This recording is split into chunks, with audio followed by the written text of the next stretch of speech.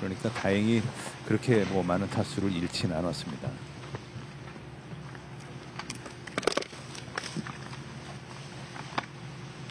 바람 거의 없죠. 응, 바람 신경 안 써도 돼. 음, 여기는 잔디는 이제 그 켄터키 블루그래스고 이 그린은 벤트그래스거든요. 예. 어, 켄터키 블루, 블루그래스가 아직은 날씨가 좀 쌀쌀해서 완전히 자라질 않아서 어, 선수들에게 이제 러프로 가도 샷을 하는 데는 그렇게 큰 어려움이 없고 어떨 때는 그게 볼이 살짝 떠 있어서 어, 우드샷을 하거나 이럴 때는 더 좋은 라이가 있을 때도 있습니다. 네.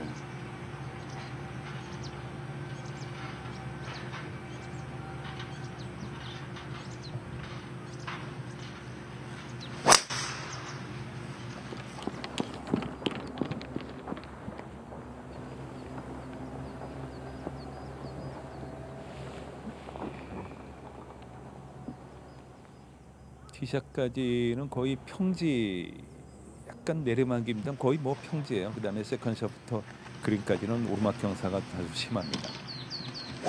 쪽이 높고 왼쪽으로 흐르는 경사가 대부분이고요. 그렇죠.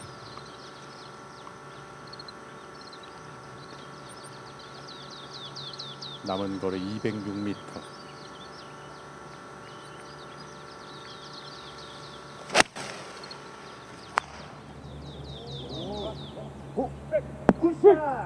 네, 올라갔습니다. 아 그리고 네, 다시 어 저기 조금 더 가네요. 잘 친 볼인데요. 아, 참 이거는 세컨샷 그 거리에서 치- 정말 잘 쳤습니다. 근데 조금 그린이 밀어내서 이제 그 그린을 놓치게 된 건데요. 결과만 아쉬웠네요. 네, 아깝습니다. 현재 고군택 서효섭 두 그리는 박은신 선수입니다.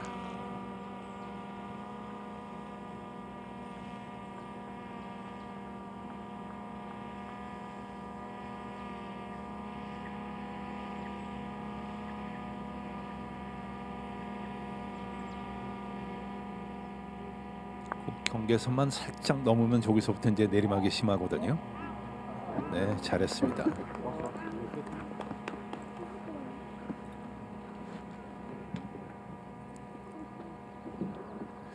소여섭 선수도 아까 말씀드린 박상현 선수의 그런 이 마음가짐과 비슷한 것으로 보여요. 아, 충분히 그 우승을 할 자신. 툼하다면은 네, 경기가 정말 재밌겠네요. 그렇습니다.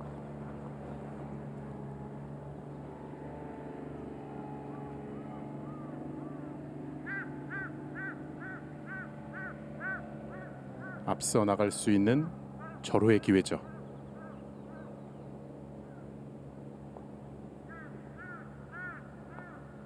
네, 들어갑니다. 이 이렇게 보면은 내일 우승을 많이 한 선수들과 첫 우승을 노리는 선수들 간의 또 그런 대결도 볼만하겠습니다.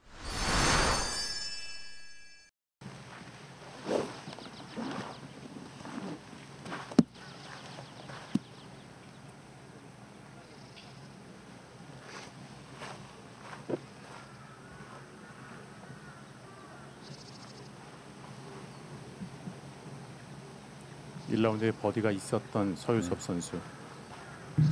한 250m 정도 지는 되는 지점이 그 지점의 페어웨이가 가장 넓습니다. 그, 그리고 뭐 다 넓습니다만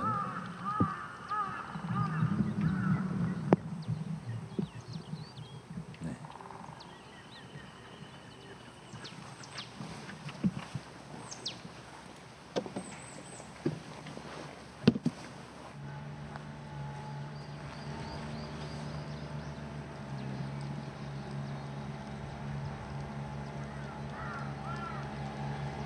후반 홀에만 3개의 버디. 서요섭. 캐리로 풀로 100m가 나와야 됩니다. 그 볼이 떨어지는 그렇죠. 잘 쳤네요. 이러면 충분히 또 한번 시도할 수 있죠. 네. 일단 이런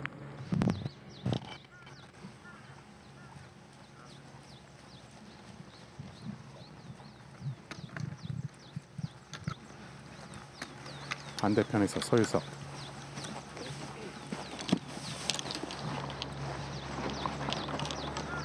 와 그렇죠. 들어가요 네. 서유섭. 역시 좀잘 치고 있습니다.